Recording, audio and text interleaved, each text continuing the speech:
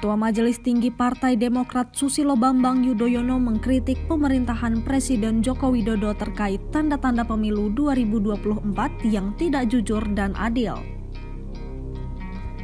Direktur Eksekutif Carta Politika Yunarto Wijaya menilai bahwa Demokrat sedang melakukan perang terbuka dengan pemerintahan era Jokowi.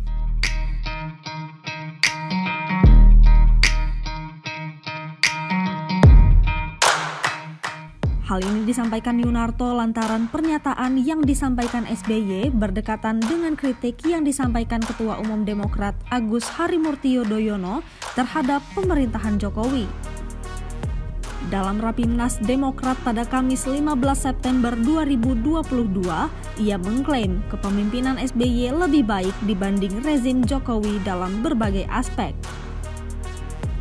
Walaupun demikian, Yunarto menilai bahwa pernyataan SBY adalah bagian dari politik melankolis yang membuat pernyataan dan sikap bernada muram. Hal ini dilakukan untuk mendapat simpati dari masyarakat.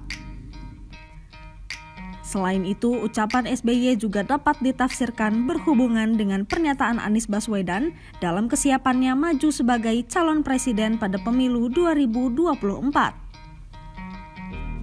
Sebelumnya, SBY menyebutkan bahwa berdasarkan informasi yang diterima, Pilpres 2024 akan diatur sehingga hanya dapat diikuti oleh dua pasangan calon presiden dan wakil presiden.